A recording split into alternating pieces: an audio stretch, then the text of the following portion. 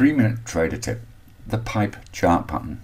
One of the less commonly used but possibly one of the more reliable chart patterns that exist when looking at price action and changing sentiment is something called the pipe.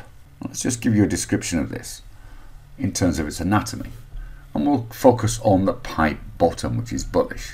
So we invariably have a downtrend which ends in this particular pattern where we get a long bearish candle followed by a long bullish candle which is of equal length. The emphasis here is that these are long candles. They may or may not have wicks of course but subsequently we have a close with a higher bullish candle to confirm the pattern is complete. The mirror of this is obviously the pipe top where we get an uptrend then we get these two key candles though in opposite order where we have the bullish candle first and then the bearish candle of equal length to the downside and then subsequently the lower candle.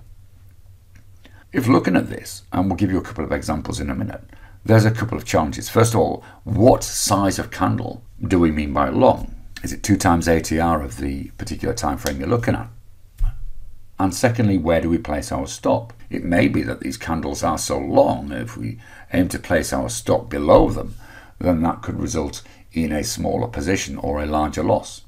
So that's something else you need to consider. Let's just have a look at a couple of examples just to illustrate pipe in action.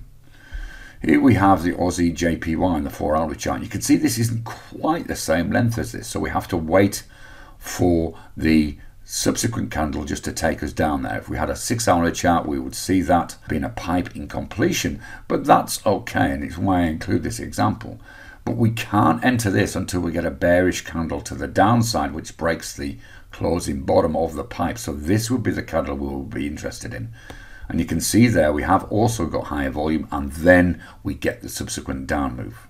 The second example I'm going to give is a more clearer example of this as we covered on the slide and this is on the Nasdaq 100 on the 30 minute chart because of course these can occur on any time frame on any instrument you'll see there there's the textbook pipe very long bearish candle very long bullish candle at the end of a downtrend and there's our confirmation candle there and subsequently of course we got a small run up of around about 100 points.